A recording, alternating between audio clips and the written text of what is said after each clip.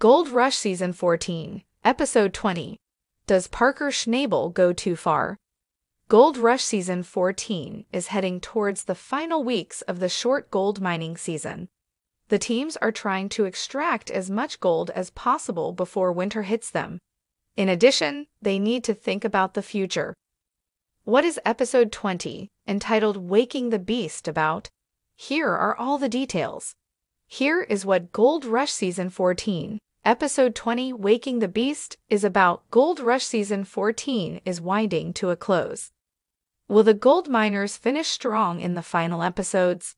According to a synopsis of Episode 20, Waking the Beast, it looks like there is one miner that will rise from the ashes of the phoenix.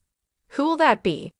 In this episode, Tony Beets wants to bring Dredge number one back to life. Tony is convinced that this is key to his season's success. Can he redeem himself? Does Parker go too far in Gold Rush Season 14, Waking the Beast? In the preview for Gold Rush Season 14, Episode 20, Waking the Beast, Parker Schnabel and his right hand man Mitch Blash have a conversation. Parker informs him that Tyson wrapped up his work on Australia Creek. Mitch is happy they have a lot of sluicing to do before the season ends. They have been stretched thin. There is never enough help or equipment to get it done. However, Parker's news may not meet Mitch's expectations. Schnabel tells him that they need to start stripping ground. He then explained why. If they strip now, they will be ready for mining next season. Otherwise, they will arrive in the spring, and the ground will be too hard to strip. Then he calmly reminded Mitch it would cost hundreds of thousands of dollars to remedy this.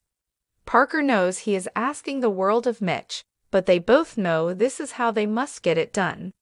Mitch agrees that his future self will be happy if they focus on the stripping, but now his present self wonders how they will get all the work done. Where is Rick Ness? Gold Rush fans may wonder where Rick Ness is in this episode. Unfortunately for Team Rally fans, there is no mention of him in the synopsis, nor is he featured in a preview video. Instead, Waking the Beast will include the McCommon family. They will be looking for a new honey hole to stake their claim.